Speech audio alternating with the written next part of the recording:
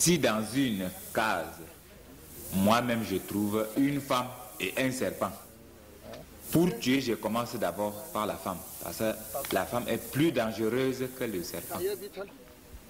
Voyez par exemple, quand vous partez au travail, les femmes sont par derrière, ils ne calculent que comment il va venir tromper son mari, tromper les hommes.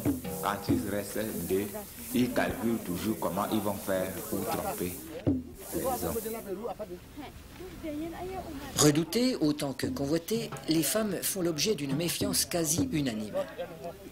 Peut-être parce qu'elles sont plus fiables et souvent plus honnêtes que les hommes.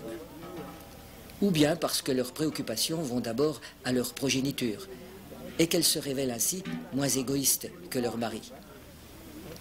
Elles sont donc différentes et de ce fait inspirent un mélange de crainte et de respect aux hommes, lesquels n'en sont pas moins séduits puisqu'ici la polygamie est fortement pratiquée.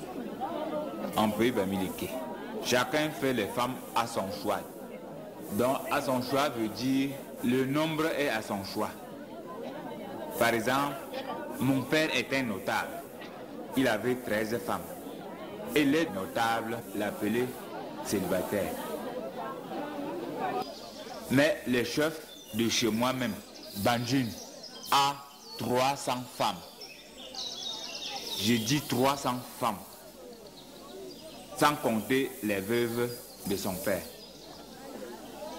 Abatoufam, le chef a 26 femmes. C'est un homme puissant. Tous les chefs sont puissants.